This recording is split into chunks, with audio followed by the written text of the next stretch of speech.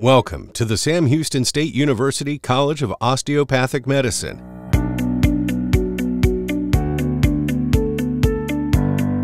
After more than six years of researching, analyzing, and planning, Sam Houston's eighth and newest college is now a reality. The four story, 108,000 square foot building is housed on seven acres in Conroe, Texas, and is the first medical school in Montgomery County. Nestled among the pines in Grand Central Park, the impressive Glass and Steel College was designed to encourage collaboration among the medical students and features open spaces, flexible learning classrooms, and state-of-the-art simulation labs.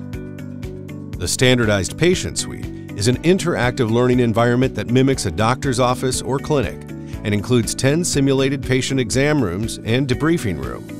On the same floor, a simulated hospital allows learners to replicate pediatric and adult scenarios within surgical suites, recovery rooms, nursing station, observing, and debriefing rooms. The interactive teaching theater seats 160 learners and is used for lectures and guest speakers. Each seat comes equipped with a charging station and microphone. Six oversized screens ensure a clear and unobstructed view in the auditorium-style room. Four learning communities provide a comfortable environment for students to collaborate with one another, study, or just relax and unwind. In anatomy, students learn how different parts of the body relate to medical conditions.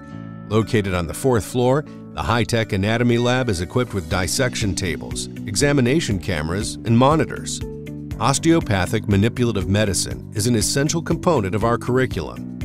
In the Osteopathic Clinical Skills Training Room, students will experience the integration of osteopathic principles and practices. The room accommodates 75 learners and includes 42 adjustable tables designed to allow the performance of osteopathic manipulative medicine. Sam Houston State's history of contributing to the well-being of the state started more than 140 years ago when the university was established to respond to the need for trained teachers.